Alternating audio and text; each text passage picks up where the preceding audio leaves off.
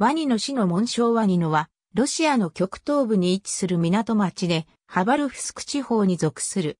人口は18,900人。サハリンの対岸に位置し、日本海最北部のタタール海峡に面した重要な港である。またバイカルアムール鉄道も通る。バム鉄道はワニノの南 15km にある港湾都市ソビエツカヤがアバニが終点になっている。ワニの周辺はワニの湾などがあり、海岸線が入り組んでいるため、ソビエツカヤガバニへの陸路での距離はこの2倍ほどになる。冬には北から流氷が押し寄せるため、不登校というわけではない。ワニノを含むワニの県の位置ワニノの位置するワニの湾は、1874年にこの一帯の地図を作成した探検隊に属した地形学者の一人、イオアキム・クレメンチエビチはアニンの名に由来する。ワニの港と内陸のコムソモリスクナームーレを結ぶバイカルアムール、鉄道は1943年に着工し、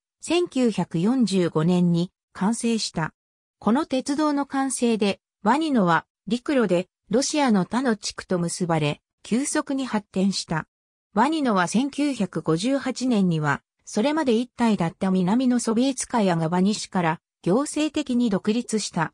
1973年には、ワニノはハバルフスク地方に新設されたワニノ地区の行政中心地となった。ワニの港ワニの駅ワニの駅は、ユーラシア大陸最東端の駅である。このため、内陸部への生活物資が送り込まれる拠点となっているとともに、内陸部からやってくる産物の集積地ともなっている。一例では、ブラーツク市で精錬されたアルミニウムやネルングリなど、南ヤクート丹田で採掘された石炭は、バム鉄道経由でワニノまで運ばれてきて、港から日本ほか東アジア各地に輸出されている。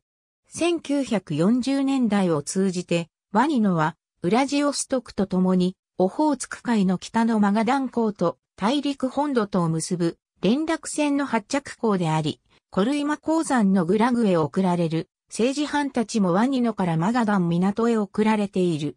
こうした政治犯はマガダンとヤクーツクを結ぶ国道の建設や国道沿いの近郊などでの労働に従事させられた。スターリン時代以後もソ連最東端の地域への最短航路を提供するワニの港の重要性は高まり続け、1989年には港の貨物取扱量は1、150万トンに達した。また1973年以来、サハリンのホルムスクとワニノとを結ぶ砕氷船によるフェリーが運航し、サハリンとロシア本土とを結ぶ連絡路となっている。ソ連崩壊後は、経済の混乱でワニの港は縮小し、2005年の取扱量は620万トンに減っている。